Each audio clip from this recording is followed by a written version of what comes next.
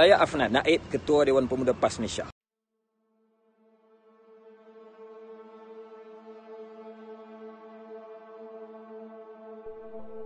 Bercakap tentang arak, sebenarnya di Malaysia ni dah lama ada kilang arak. Dan arak ini juga dilaporkan menjadi sebahagian daripada cukai yang tinggi di Malaysia.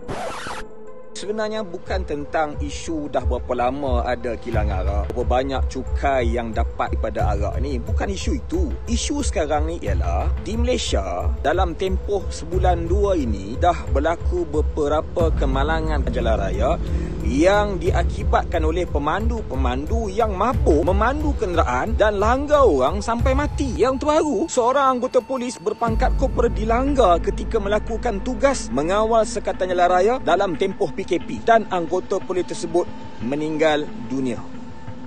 Februari, seorang anggota polis juga yang menjadi ayah kepada anak-anak. Anak-anak yang ditinggalkan yatim piatu. Dan banyak lagi kes-kes lain yang kita boleh baca dalam media-media masa tentang kes kemalangan jalan raya yang mengakibatkan kematian oleh pemandu-pemandu yang mabuk. Yang memandu kereta. Maka Dewan Pemuda PAS Malaysia menggesa tiga perkara. Pertama kerajaan perlu segera melaksanakan pindaan terhadap akta pengangkutan jalan yang memberikan hukuman yang lebih berat kepada pemandu-pemandu mabuk sehingga menimbulkan kematian. Dua pihak berkuasa tempatan PBT mesti menggubal undang-undang kecil supaya menghadkan uh, jualan-jualan arak di tempat-tempat tertentu. Jangan dibebaskan uh, sewenang-wenangnya. Sebenarnya mengikut hukum Islam dibenarkan dengan syarat mengikut nisbah penduduk bukan Islam yang minum arak di kawasan tersebut. Janganlah orang yang minum tu sikit tapi jual arak tu melampau-lampau. Ini tak betul. Seolah-olah kita nak menggalakkan orang semua ni mabuk. Dan yang ketiga, tuntutan kami ialah